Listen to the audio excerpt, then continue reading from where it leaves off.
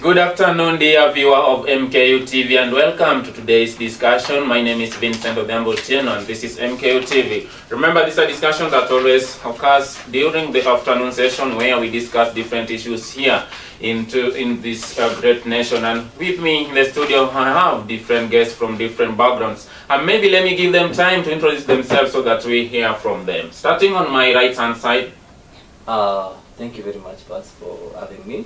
okay, tell us your name. I'm well privileged to be here. Okay, So my name is Felix Baraza. okay, I am a political analyst. Um, I'm domiciled okay. uh, in Nairobi County. Thank you very much, Felix Baraza, and thank you for keeping time. Yes, on the middle we have a, a very uh, brilliant uh, gentleman. Tell us your name.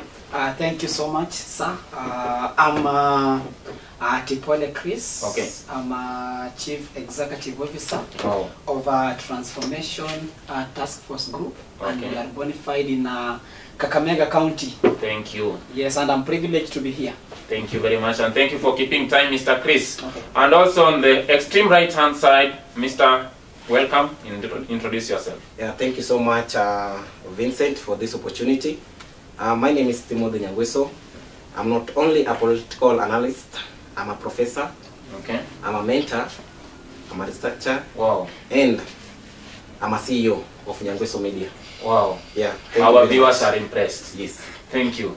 Thank you very much, Mr. Timothy Nyangweso. And straight, ladies and gentlemen, we now focus on today's discussion.